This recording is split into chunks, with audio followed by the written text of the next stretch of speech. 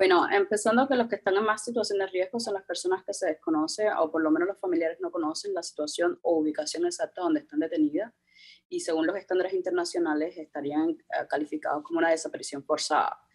Nuestra mayor preocupación en estos casos es que estén siendo sometidos a intensos interrogatorios donde eh, se practiquen técnicas de tortura.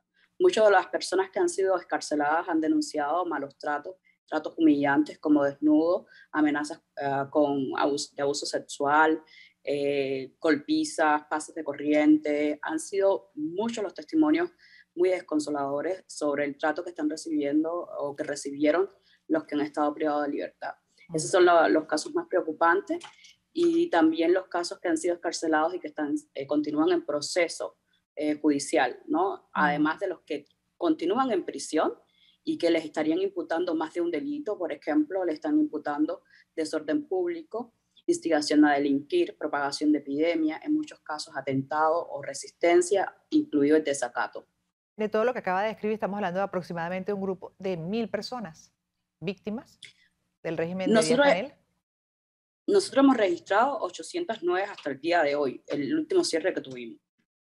Pero tenemos, tenemos conocimiento de que hay más personas porque eh, muchos eh, de las personas que se han comunicado con nosotros nos han manifestado que previamente, tanto los instructores penales de los casos que eh, están detenidos o estuvieron detenidos, como los abogados de defensa le han aconsejado no hacer denuncias públicas ni comunicarse con nosotros o las organizaciones que están registrando casos de detenidos. Entonces, sí estimamos que la cifra pueda ser más de miles y todavía queda más. El régimen no se ha, eh, no se ha decidido a dar una cifra eh, oficial acerca de la cantidad de personas que detuvieron a raíz de las protestas del 11 de julio. Bueno, después del 11 de julio la militarización y, y, el terror ah, es lo que, lo que predomina ahora en el contexto cubano. Las familias están atemorizadas eh, por cualquier cosa que le pueda suceder. De hecho, cualquier recurso legal que le hemos aconsejado piensan que eh, podría ser una motivación política, porque todo puede ser interpretado de esa manera por, por las autoridades. Las amenazas han sido directas, incluso aquellos que hacen publicaciones en sus redes sociales apoyando a los manifestantes o convocando otras protestas en las redes sociales han sido llamados, citados oficialmente, interrogados, le han aplicado incluso eh, a actas de advertencia, amenazándolo de que los van a, hacer, eh, a procesar por delito. ¿no? Entonces, ese terror inhibe al resto de la sociedad de pronunciarse. Realmente mucho, mucho miedo y muchísima desesperación también.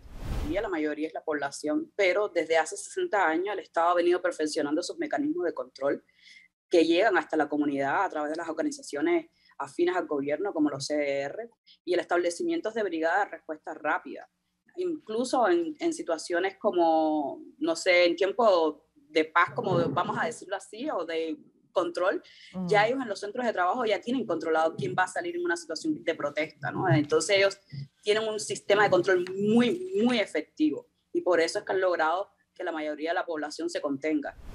La situación es muy caótica, especialmente lo que han vivido los manifestantes eh, que han sido liberados y han dado su testimonio, da fe de que en las cárceles en Cuba se tortura.